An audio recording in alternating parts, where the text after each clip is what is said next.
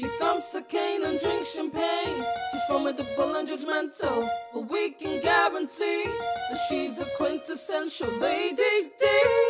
But recognizes great potential. What would Danbury do? Welcome to What Would Danbury Do, your guide to Julia Quinn's Bridgerton series from A to V. Bridgerton goes full shock and awe in episode two as Simon, Will, and Anthony all follow Daphne's lead and throw a few punches around. Eloise and Penelope seek the answers to one of life's big questions, and we learn that Lady Danbury is, in fact, the greatest, and we will broker no arguments. It's time to tune into Bridgerton Season 1, Episode 2 Shock and Delight. Don't forget you can find us on Twitter and Facebook at Bridgerton Pod and Instagram at WWDDPod. And join the conversation using the hashtag WWDDPod. Hi, I'm Adele. Oh, oh, going in for the kill. I'm Rudy. Dog's breakfast already. You threw off the rhythm. Yes. I'm Kate. Multiple flashbacks to Simon's childhood show his traumatic birth, the abuse meted out by his father, the physical disability that he worked to hide, and how Lady Danbury saves him. Daphne and Simon's charade is an instant success, making the pages of Whistledown and infuriating Anthony, who accepts Lord Berbrooke's proposal on Daphne's behalf. Penelope and Marina become closer. Violet comes up with an idea to save Daphne from marriage to Berbrooke and implements it with great success. This episode features discussions on reproduction, secret smoking buddies, an ugly threat, and a very suggestive buttoning of a glove. And we should also mention that this episode comes with content warnings for traumatic birth episodes and child abuse, both on screen and discussed. It's a cold open on the birth of Simon, and it's like a very traumatic birth and is very definitely death of Simon's mother. Yeah, well, she, I mean, she, it's very clear she dies shortly after the birth. We go from that really like intense cold open straight into the column from Lady Whistledown that effectively tells us Simon and Daphne's plan from the previous episode is working and everyone is fooled, and that they are now going to promenade and negotiate the terms of their deal of like fake dating. They're working super Well, I hard mean, to make Simon rakish, aren't they? Like he rolls out of bed half naked from one woman, like throws on a shirt and shows up at Daphne's promenade. Like, especially because that is the first time that I've seen that we've seen him having some kind of I guess like gesture to him being someone who has sex and and is rakish and then like doesn't come up again the rest of the episode. No. look, I think what they're doing is they're providing an incredibly sanitized version of a rake. So we see Simon sort of roll out of bed, and then he does things like when they're promenading, and she's like, you know, you should be courting me. And he says, you know, if I were courting you, I would only need five minutes alone with you in the drawing room. With the promenade, it is so delightful to see Lady Danbury and Violet plotting, whilst also bragging about their children, quote unquote. And they are having fun, but they're genuinely excited to sort of be family. And it certainly sets up a contrast between like the way that Violet and Lady Danbury get along versus the way that Violet and is Nigel Berbrooke's mother lady as well. yes, Lady she Berbrooke, is Lady Berbrooke. later on and there's almost a parallel relationship there between how well Simon and Daphne gel with each other versus Daphne and Nigel and then how easily Lady Danbury and Violet gel with each other versus Violet and Lady Berbrooke. There's also the we have Simon and Daphne promenading whilst negotiating the whole time, which is kind of like soft foreplay, really. It's setting them up as not just friends but a team. Like they are working to a common goal and there's something really delightful about that. I think that for me that's why fake dating is a trope that I really love. Like it is that thing of we know something that no one else knows. We are keeping this secret together. Makes an immediate twosome, even if it's not the kind of twosome that they expect. There is one tiny thing that I just want to flag. So, Book Simon is the one who thinks to bring flowers for both Daphne and Violet when he visits. Netflix Simon is told by Daphne he has to bring flowers for herself and her mother. It's the slightest change, but it's one that really kind of changes the dynamic of their relationship potentially. Yeah, it's interesting because in the book it was it was a sign of Simon's thoughtfulness and it was sort of the first step to falling in love with him is to, you know, seeing that his courtesy and that he was willing to do things that didn't necessarily need to be done but because they were nice things to do. Being told to do that and i mean he did follow through which is nice but it it takes some of the responsibility away from simon for making i guess the viewers fall in love with him For me, what it is, is that it says that Daphne is potentially going to be the one who takes the lead, pushing them forward in every capacity, which, like, possibly that's the goal and it gives her more autonomy in it. But Yeah, actually, I like that a lot. And it makes a lot of sense too, particularly in this episode where we see sort of Simon, the, the origins of Simon's distance from everybody and everything around him. Also, how dare they rob us of a scene when Violet receives the flowers? Because she is a full Simon stan pretty much from the beginning, and that would help show why. Okay, do we think that Violet is a Simon stan, or do we think that Violet is a dukedom stan? I think that she just loves a dukedom. I've been side eyeing her since her conversation with Anthony in the previous episode. Violet fell in love with her husband pretty much like this. They got married like this. They had babies like this. Like in the book verse of Violet and Edmund, right? I think she saw them dancing at Vauxhall and just went like created the romantic picture in her head.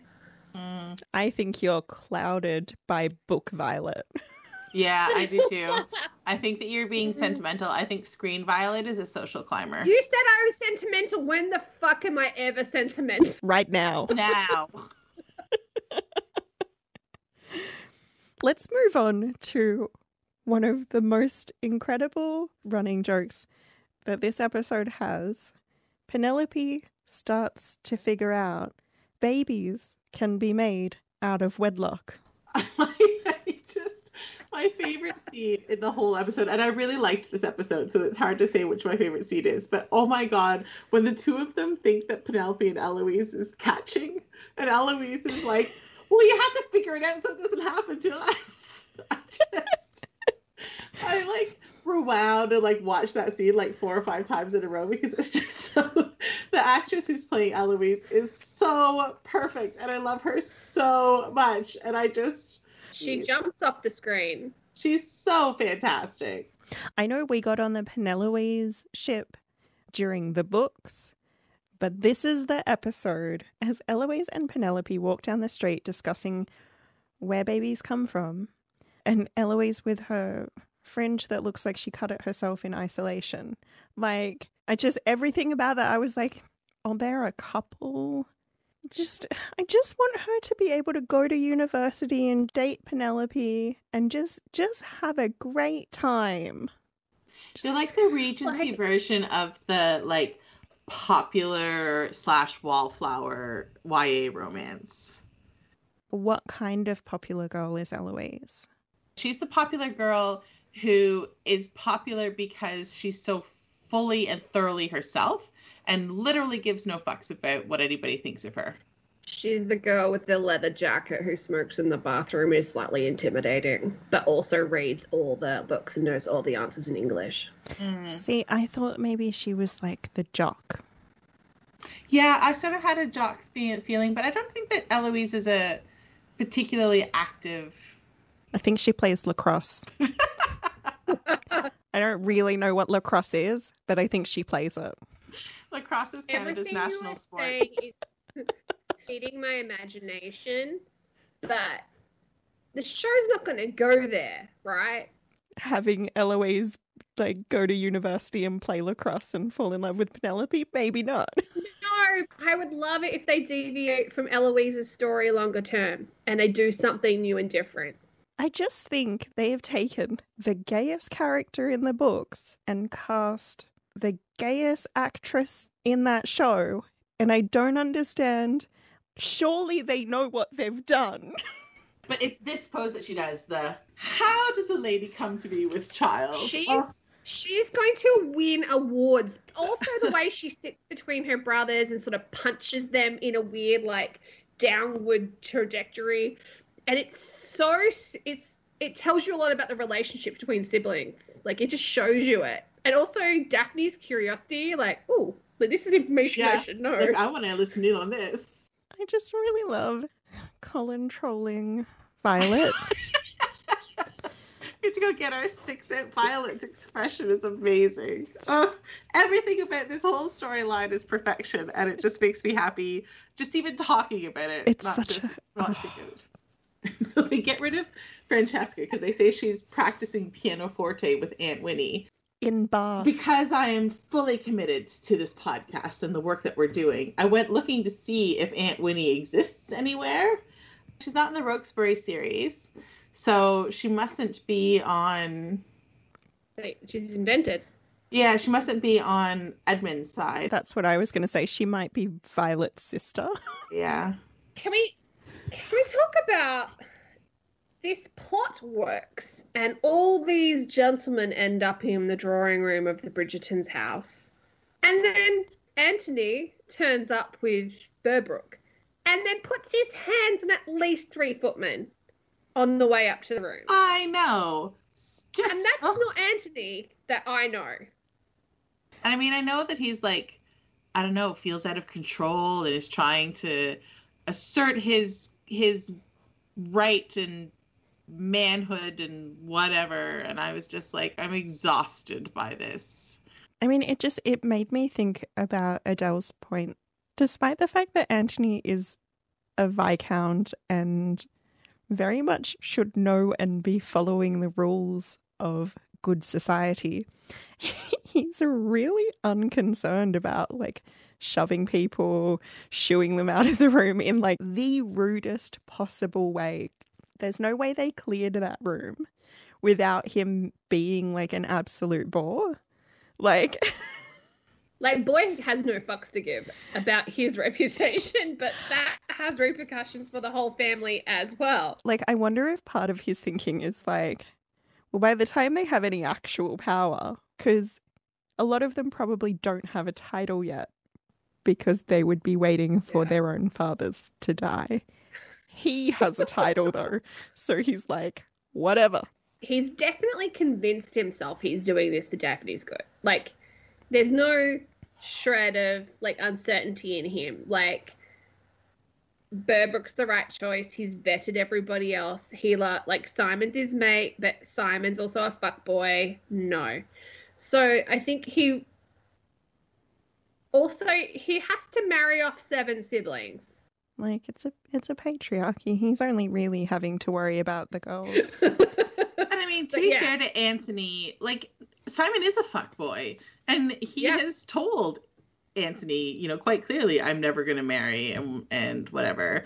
And I'm not saying that like Nigel was the right choice, but he, you know, he's not wrong in in thinking that Simon is the wrong choice. He doesn't know that we're in a romance novel yet, so he doesn't Yeah. know that um, Simon's going to come good in the end. I guess the thing for me though is that like even if he believes that the problem is Simon is not good enough for his sister, he's shooed out an entire drawing room of other eligible men.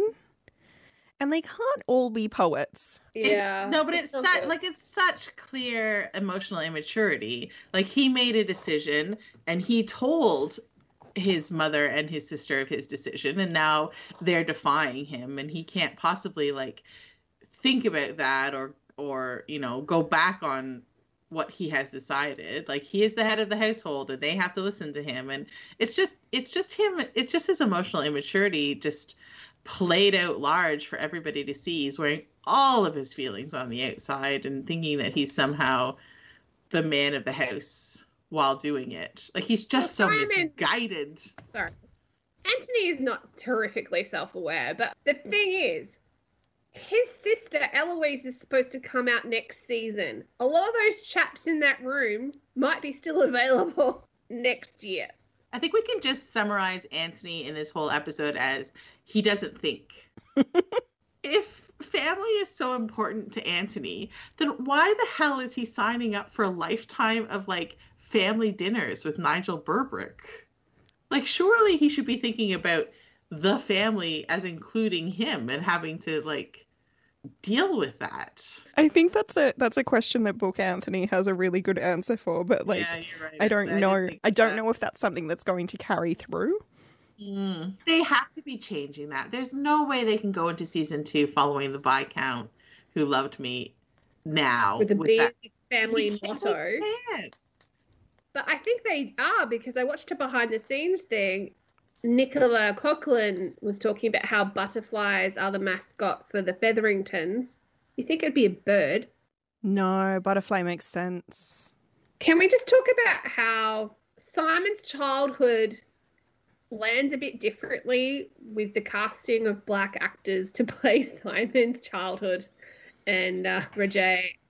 There's also the Duke telling one of the younger versions of Simon to remain extraordinary Yeah. so they can be continue to be recipients of the ducal line. It is a, I guess, an inkling of what the alternative history of this universe is.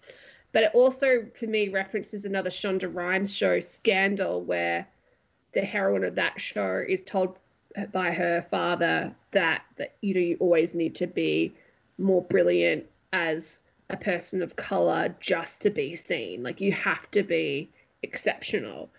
And that's not an accident. This is one of those things where, like, when it was announced that the series was going to have racially blind casting, or uh, they've called it like race conscious or something like that. But like when they decided that they effectively were going to race bend characters, and they said that Simon was going to be one of those characters, I initially thought that it would be that Simon has a white father and a black mother, and that that was part of their tension and dynamic. And so, seeing that he not only had a black father, but a father that had darker skin than his mother, was the first time that I thought, oh, this series is not going to deal with race well. This, they're going to do something that's going to be deeply uncomfortable. I wish that they had have either gone for a logical real world explanation or just ignored like the implications of the racial dynamics because there is no way to make a peerage an equitable and just society. Like that's not it fundamentally like that that's a fundamental kind of disconnect. But like uh, it's a fucking mess. And it's something that it, it's not something that we can cover quickly. At one point, we get this conversation with Danbury after seeing the death of her friend. A few years later, Simon hasn't had a relationship with her. She hasn't been able to see him. She basically bursts her way into Clyvedon and sort of declares herself to Simon to find out he's quite accomplished, but he also stammers and she barely blinks and gives him this incredible speech. When I was a girl, some centuries ago, I was afraid even of my own reflection. I entered a room and attempted to dissolve into the shadows. But there is only so long one in a position such as ours can hide. I knew I would have to step into the light someday, and I could not very well be frightened. So, instead, I made myself frightening. I sharpened my wit, my wardrobe, and my eye, and I made myself the most terrifying creature in any room I entered. Come.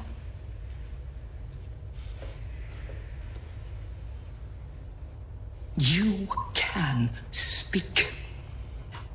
I understood you well enough. and I will help you to overcome this stammer of yours. But in exchange, you must promise me that when you step into the light, you will be worthy of the attention you command. If you didn't already love Lady Danbury, I think you would have been won over by that scene. One of the so one of the problems with this episode is that it gives us a taste of the idea of how race works in the series, but it hasn't fully explained it yet. But I hope that we remember to come back to this moment when we find the full explanation because it's actually really heartbreaking to watch it and understand her life. In, how excited we are by that scene, though, we have skipped over my actual genuine most favorite scene. We've we brushed past. It's fucking glorious though. Penelope brings cake to Marina and asks her how she became pregnant. And Marina tells cake. her cake. And then And she does Penelope's face.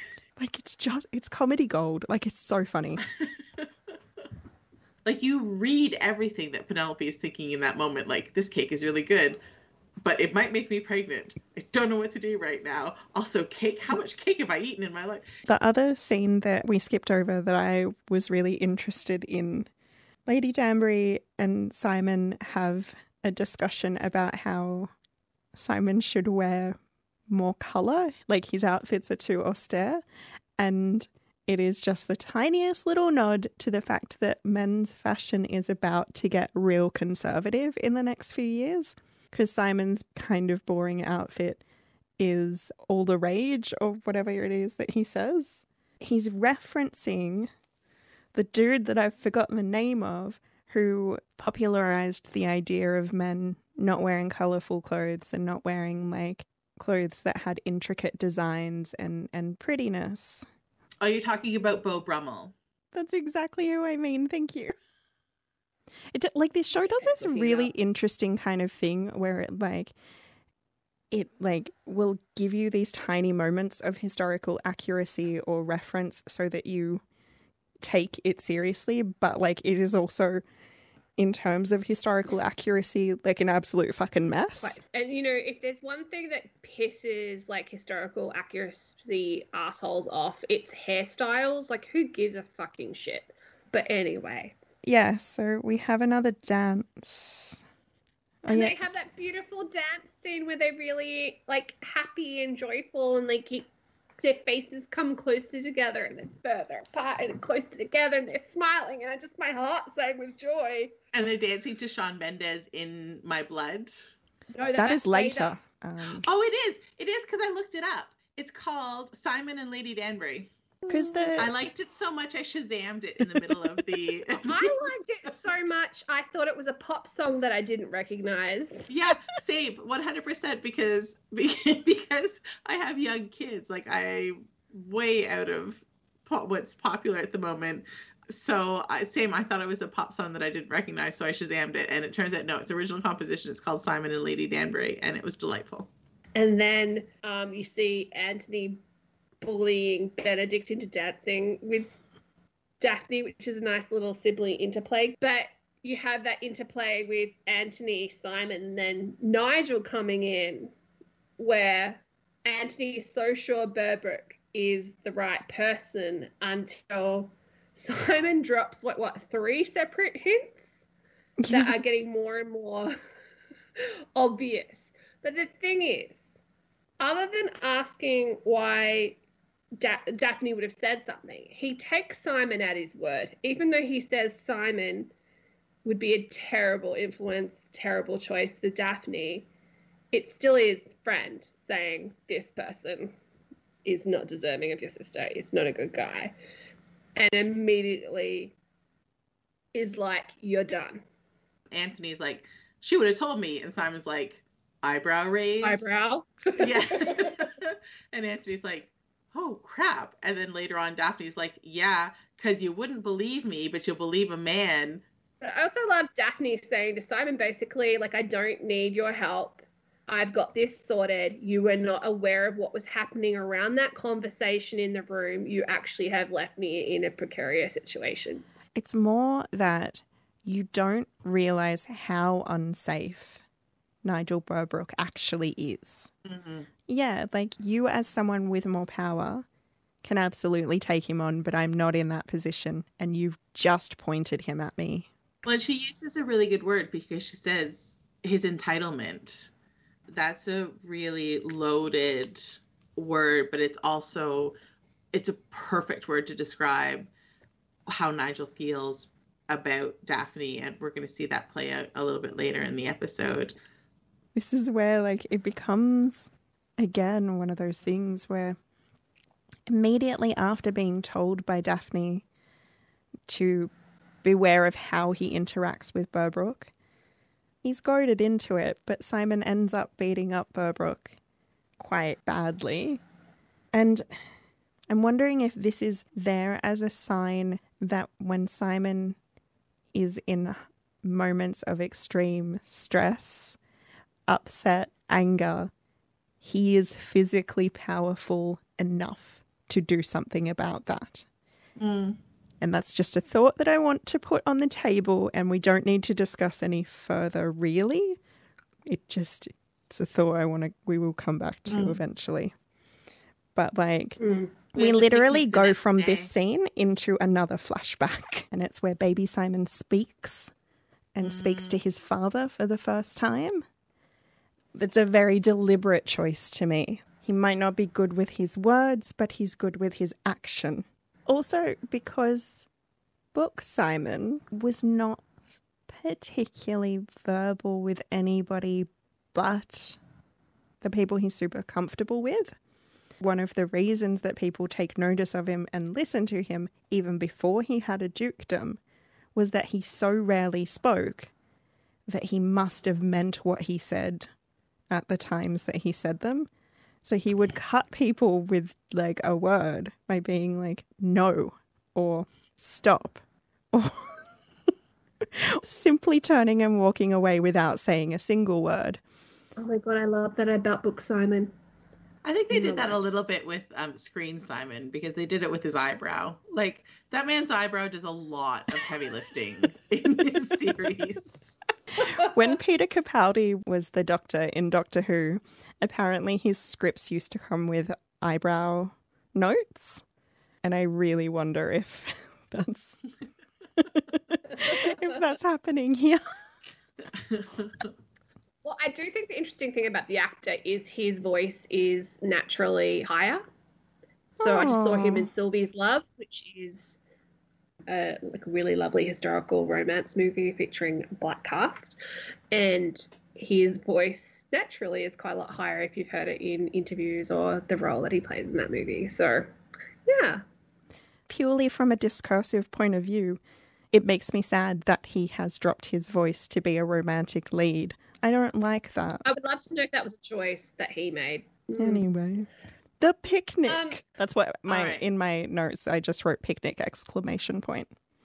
Anthony being a reasonably good father figure.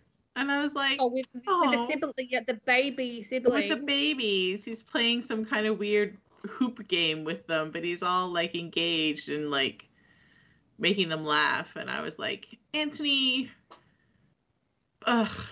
But also, he is a little hurt that Daphne didn't confide in him. Well, maybe he should sit the fuck down with those feelings for a second and think about why instead of Well, well, you know, his. I'm. I'm going to become an Anthony apologist, I guess, because I'm actually listening to the book again at the moment. He has that laser focus, which is not great, but he clearly gives a shit. So, like, I'm going to give him points for that. But we have Berbrooke storm up with his face. Don't a jump mess. too far ahead. Take Oh, this a little alright, bit I'll slower. stop. There's a cuff That's that needs to be buttoned, Adele. I mean, Daphne knows what she's doing. She knows how to play the game. It wasn't her idea to play the game in the first place, but like she is surpassing Simon on the rules of this game. But she's also managed, she can manage him, as we discussed with the flowers.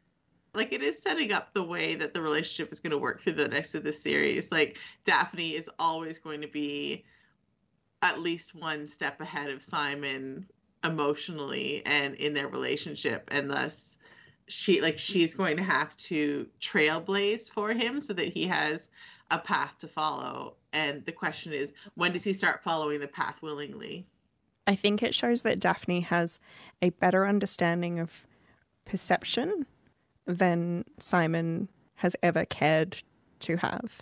Because he, doesn't doesn't, need to. to.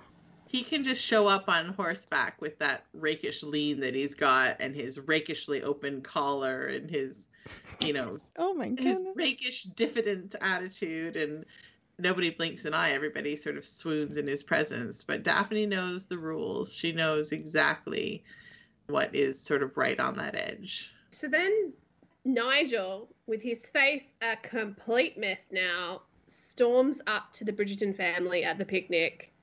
And as Daphne anticipated, show his entitlement and insist upon a marriage because they went on the dark walk together. he's Um, like didn't waving like his that. marriage license around being all like hello look at my special license and also Yes. The rumors that i'm going to start to blackmail you into marriage As a threat, I just look at them and I go, You are a rich family that is popular, that is rich. Like, you could buy any Is this a white other husband problem? for her. and this then becomes a non issue. but the taint of scandal wouldn't go away. Like everybody would be like they had to buy her a husband because she was impure and thus other her sisters are also suspect. Like it would They, like the threat is quite real.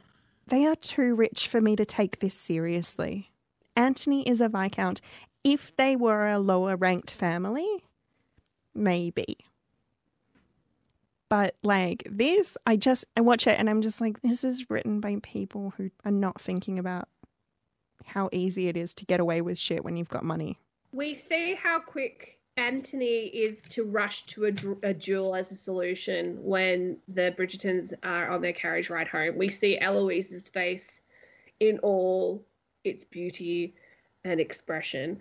But we also see Daphne accept the lumps as they've been given to her. And as a Anthony apologist, he looks upset right at the end.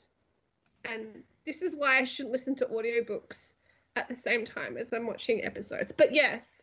I was mean, going to say, you've changed your tune so dramatically from one I episode to the next. I'm listening to the Viscount who loved me on audiobook, and now I'm just like, I must protect Anthony, who I also appreciate. Full dick.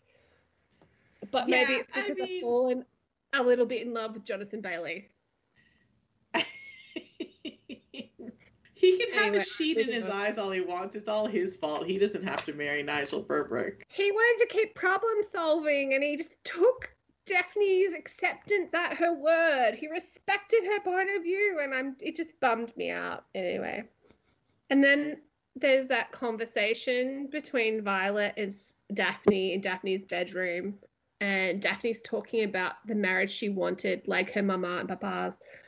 I might have cried a lot. I think it was a really touching, like it was a really touching scene, and particularly because Violet is heartbroken too.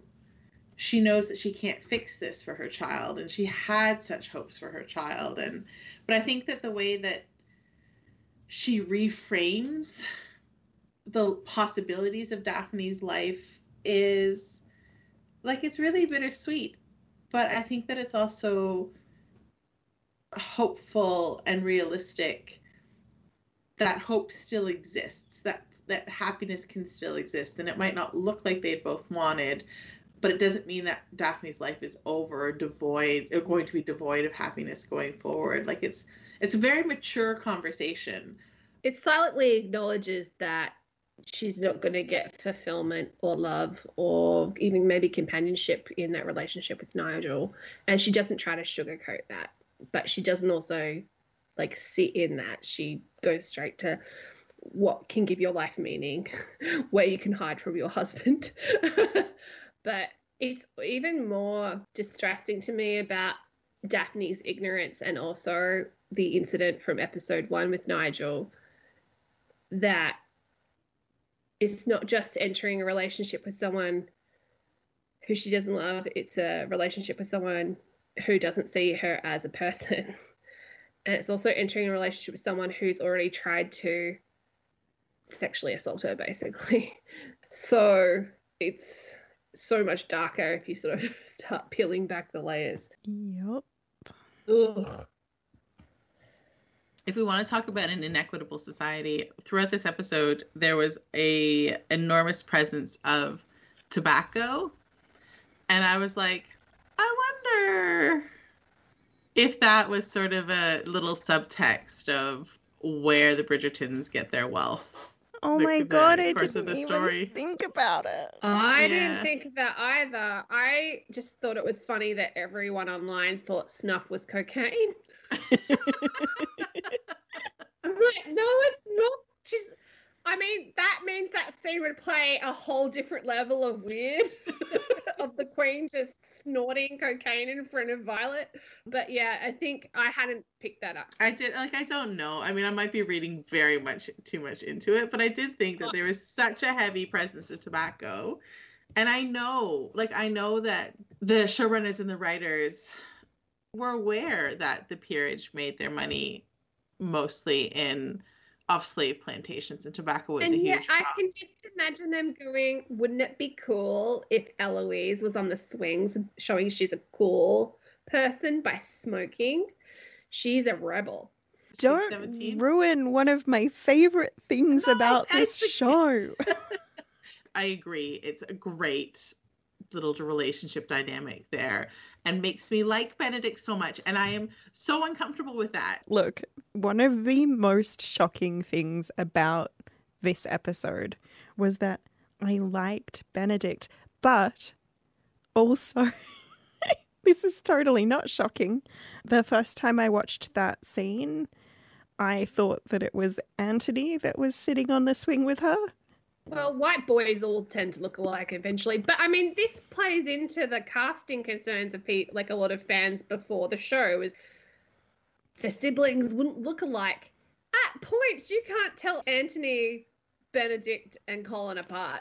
Adele, literally, this is what my brain does. Does he have sideburns? Nope. Does he have tall hair? Nope. Must be Benedict. so I just I have to uh, like just something random because we have mentioned like Violet's conversation with the Queen and the snuff. Why was the contortionist wearing fucking heels? That was so Yeah. that we understand the level of like contrarian that the Queen was. Violet invites Lady Berbrooke to tea, and it turns out to be a cunning plan. They clearly had rehearsed that. Like there was a script. Clearly, they had talked about what the best opportunity to get the dirt, and it's to sh- do sort of the below stairs hierarchy was the best in. And I thought that was a masterpiece. Well, it sets up what becomes the thesis of the show, which is how power works in a gender binary. And hmm. I think it's very much like it is a sign or a nod to the power of gossip and this Yeah. function that gossip serves in keeping women as safe Like, as yeah. possible and respecting that. Because, like, I keep kind of turning around and pointing out, like, Me Too moment kind of stuff, but this mm. is very much a post Me Too program because mm-hmm. a lot of conversations in the immediate aftermath of that was about The Whisper Network. the Whisper yeah. networks. and that's very much what this show is doing and it's like this is how this is how women have always kind of kept each other safe from dangerous men and that's fine but i also it's an i think it's a parallel to this to the discussion about the handling of race in the show as well in that on the surface the show appears to be making quite progressive points but there isn't an underlying thoughtfulness to it that cements that point that that creates a fundamental progression i guess in this case, you know, the Whisper Network is, you know, women are going to talk and we're going to share information with each other, and that's how we're going to protect our daughter or each other. But it works so well and it works so quickly and it's so effective. It it doesn't acknowledge that in a patriarchal power system, you can have the information and still get stuck. Like the thing that causes Berbrooke to be kind of ostracized by everybody is that he has presumably sexually assaulted a maid in his household, and no one has cared until it might have affected Daphne and her marriage yeah. prospects. Yeah. I don't want to be shitting on this show because I, like I, I'm on my fourth watch. Like I am quite sincerely Enjoying it. yeah, Yeah. like there are there is a lot about it that I enjoy. It's just that I don't think that there's any sort of point in pretending that it doesn't have some fundamental failures. I think they do a lot of things fantastically, but there's there's a minute fracture where it's not completely squaring itself away, and I think probably all three of us feel that. Mm. I will say, like after after that thread of disappointment, we do go into another highlight moment of the episode, which is now is when they dance to Shawn Mendes. No, no, no, no! You can't miss my. mo- You can't skip my moment, Jo- what please. then? What? Okay. The truth is revealed about Berbrooke and Daphne is saved. And then there's a discussion in the drawing room where Violet is before the fire and Anthony comes to her, which is a direct flip of what happens in episode one when Violet goes to Anthony's office to talk to him about what's been going on, and he is quite dismissive of her. In contrast, this is Violet's office and quote quote fingers, and Anthony is the one entering her power space. I'm so excited. All right. and this time she has handled shit and he knows it. But even better, above the fireplace is a portrait of Edmund, Violet, and Anthony. Anthony as a child. So not only is he getting spoken to in the shadow of his father, he's also been reduced to a child who's disappointed his parents. That was profound. That- Yeah, that's amazing. I amazing. think they do a lot of that mirroring or callbacks. And this episode, and what I haven't really found the right word for, they do a lot of that callbacks and sort of bookending of different moments. okay, well now are we allowed to go to the ball? Now Also- can we finally talk about oh, Shawn Mendes? Yeah. So this is the second of the agreed upon eight balls that they will attend together, plus the He's picnic that they've already. negotiator. I do love that they did have an agreement of six, and then she turned around the very next time they met up and was like, "Actually, now eight plus a picnic," and then Plus just wins. In my head, this is like the Valentine's ball because it's red themed. Most people are wearing red, including Simon. It's in my blood is playing, and they dance chest to chest, heart to heart. So, my feeling is this whole dance and this ball is showing that progression from curiosity and enjoyment at the start of the episode to burgeoning love. And then we get that confirmation when Danbury asks Simon what's wrong with him, and he stutters, which means he has an emotional response to what's going on. And boy, that's great. And that's showing how the departments of this show are working together. Like, holy heck. I guess. But I guess the thing- also implies that stammer is like a psychosomatic thing, which I don't particularly like. There is a beautiful moment, and I would say that it's subtle, but it's not because, like, it's a fucking close up frame. But, like, where Simon trails his fingers along Daphne's spine, it is so deeply sensual. That's one of the things that this series absolutely gets right. Like it's really, really good at showing those like small but sensual moments. I read an interview with Chris Van Dusen, the showrunner, and he did reference the 2005 Pride and Prejudice where Darcy and Elizabeth touch hands, and you have that moment of them touching skin to skin for the first time, and then here's, as everyone knows who's seen that version, the hand and, flex. um, that's elemental, and the back did the same thing. I just want to move on to sort of the last scene of the episode because I really like the ball was so upbeat and hopeful and it was really lovely. Um, but the last scene sort of hit a red flag for me because Eloise comes into Daphne's room and she's all like, Aren't you afraid of childbirth? Uh, you know, they clearly shared a um, shared an experience of hearing Violet giving birth to Hyacinth.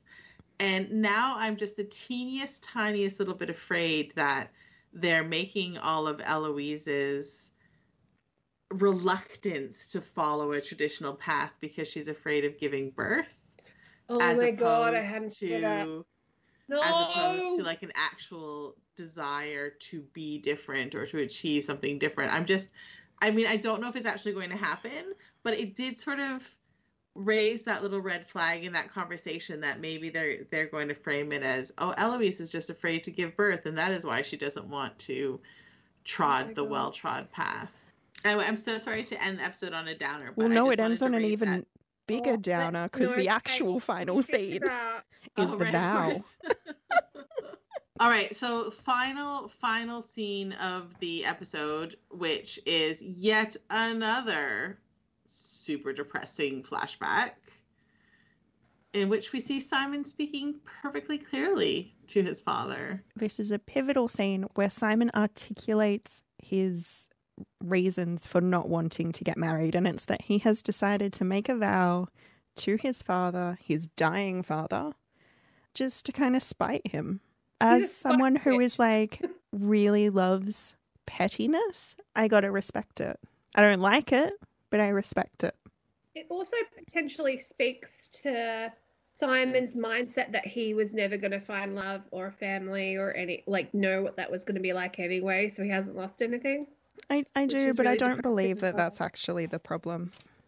Um, It's just another example of men not being able to sit with their feelings, so they have to let their feelings explode all around everybody around them. Men will literally make a vow to never get married and to end the ducal line rather than go to therapy. Can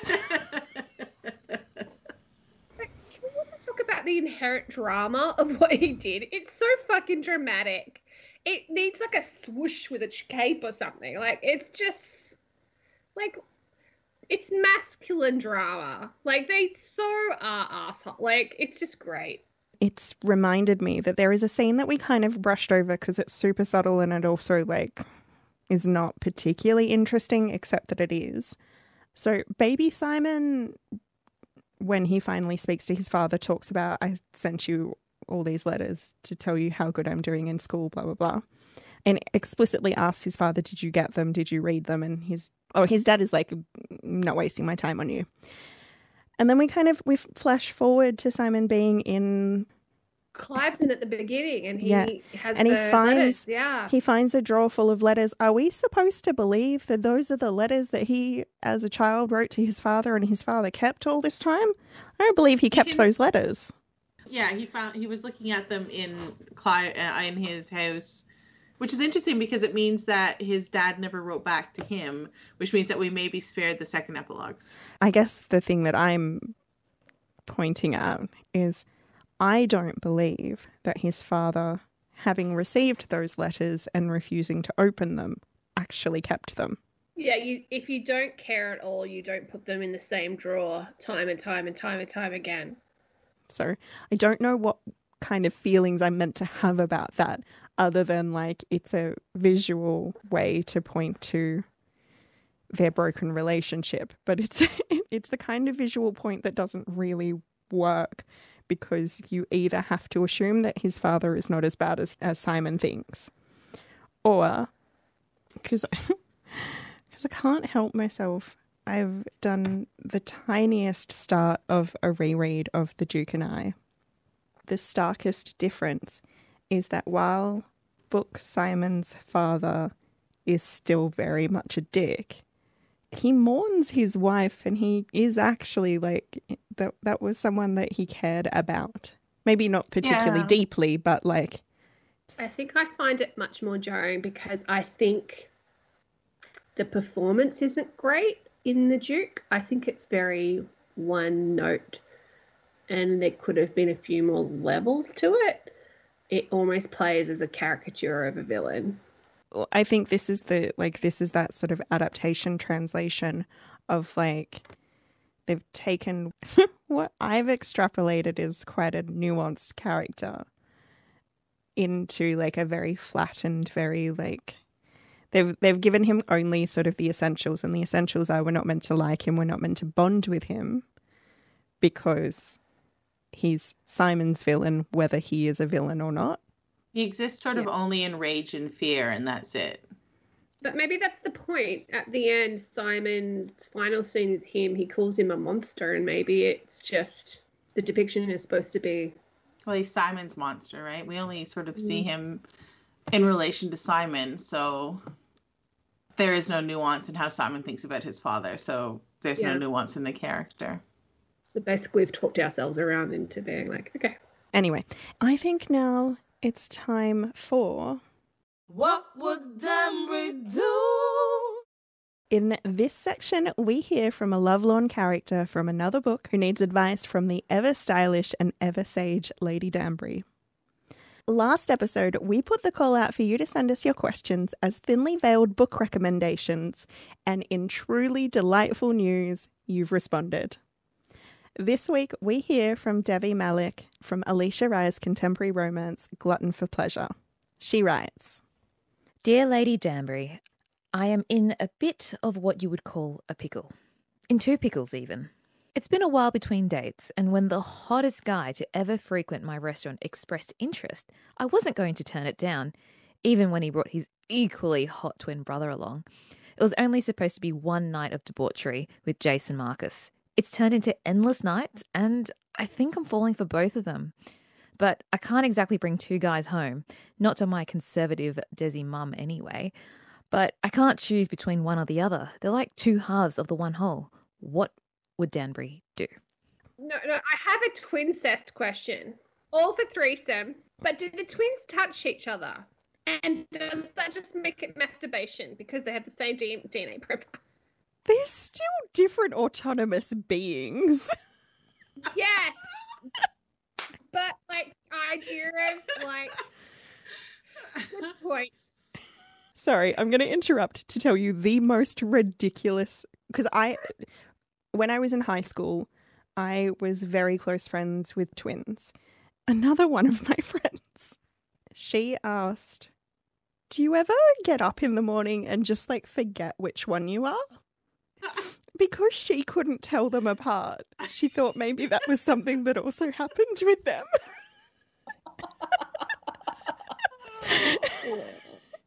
And so, Oh, Adele, man. that's what the, your question just made me think of. Here's what she should do. So they're twins, right? Yes. Identical. yes. So she doesn't have to bring both of them home to her family. She can just bring one of them at a time. Plus, benefit for the twins, they only have to go hang out at the in-laws like w- only 50% of the time. Can I just talk about how unfair it must be to identical like identical twins that people have fantasies about being a twin sandwich or whatever? Like I, I it's not a fantasy I've had. Is it a fantasy that you guys have had? No, but I've read this book and I liked this book. I haven't read this book, but I don't think that there are a lot of authors that I would trust to handle this book other than maybe Alisha Rai. Like I trust her to handle it. I'm trying to remember now. I know that the twins don't have penetrative sex with each other. I know that, but I don't know if they touch each other at all. Look, I think what Lady Danbury would say is get it, girl, live your best life. Yeah. But be aware that you are making choices right now that people are going to judge the hell out of. And there are going to be a lot of questions. And you need to go ahead and figure out whether this amazing sex and potential squishy feelings are going to balance out having constant speculation about your relationship and whether Yeah. you'll be like you know what maybe i actually want an easier future and i'm just going to enjoy this in the short term And if you ever decide to have a family, you know that they're both the father. yeah hey that's that hey that is a actual benefit to being in a threesome with twins as opposed to unrelated guys I guess that the only extra bit of advice that I would add is to decide together on what your boundaries are about what questions you will answer because you don't actually owe most people an explanation. If you want to lie, you're allowed to lie. If you don't want to have to lie, you also don't have to do that. But make a decision together if you decide to commit to these two men. make sure that communication is at the center of your relationship because you are going to be facing some challenges So, this recommendation came from my formerly sixth best friend, Sophie. the reason that she chose Glutton for Pleasure by Alisha Rai is that it's hot and fun, and she wanted to see this adapted by Netflix. look i mean dream big sophie If you, like Sophie, want to send us your book recommendations in the form of a letter to Lady Danbury, record a voicemail and send it to us at our Gmail account, which I definitely know the name of. BridgertonPod at gmail.com. Don't worry if you don't get a clean take because I'm happy to edit. she's very happy to edit trust us She edits me all the time.